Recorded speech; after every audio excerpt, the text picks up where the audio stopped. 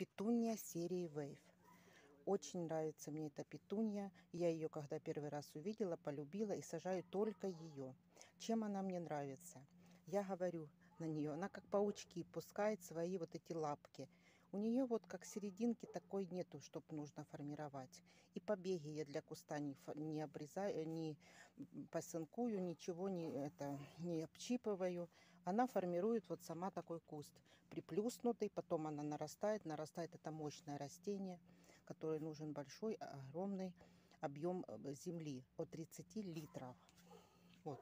Видите, она как приплюснутая она, она не растет вверх, она растет в бока и потом начинает боковые э, эти побеги пускать и э, цвет, вся в цветах.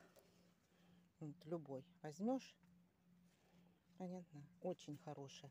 Мне она очень нравится. Этой петуньи получится 24 марта будет два месяца. Она перевалена 15 марта в пол-литровые стаканчики и будет здесь до самого посадки на постоянное место. Петуния серии Wave. Есть, конечно, исключения, когда бывает э, выходит сильно середина. Ну, это совсем редко-редко. У меня даже нету даже показать. Так что петуния серии Wave, серии Wave это мощная, шикарная красавица.